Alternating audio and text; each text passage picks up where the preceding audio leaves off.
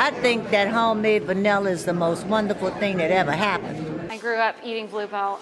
Truly, ice cream is my favorite food on the planet. We've made some flavors, you know, from peanut butter and jelly that actually had, you know, some maybe bread pieces in it. How well did it do? I mean, Crazy cookie dough, crazy cookie dough. we would never want our headquarters anywhere else. Brenham is that small town feel that we love to take everywhere because we really like that community, local feeling of family. We are really involved in the community and the community is really involved in Bluebell. Because you can't get any better ice cream. So Bluebell Creameries actually started in 1907 as the Brenham Creamery Company, and we started by making butter um, from the excess cream from our local dairy farmers. And so it wasn't actually until 1911 that we started cranking out some ice cream, but that was only about two gallons, which was enough for just the employees to enjoy. So it actually started in that 1911 when we ate all we could, and then as it began to grow and grow, then we would start to sell the rest.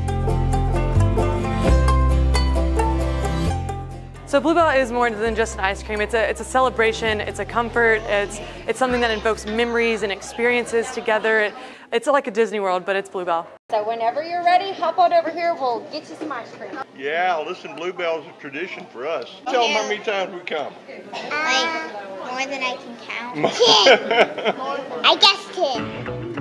We have our roots in this very small town. It wasn't until 1930 that we actually changed our name from the Brenham Creamery Company to Bluebell Creameries. Now this is based off of uh, E.F. Kruse's favorite flower. So that Bluebell flower was his favorite flower, summertime flower when ice cream was just super popular. In 1936 was actually when we got our first freezer truck. Um, so before then it was actually carried around by horse and buggy. Um, and so we had a very small location in which we could serve this horse and buggy until 1936 when we got this first freezer truck, we were able to expand that location. So more and more parlors. And so these are mothers and fathers bringing their kids to these ice cream parlors. It wasn't until 1958 that we ended up deciding to stop that butter production and then continue just full time with that ice cream. There you go. Yeah.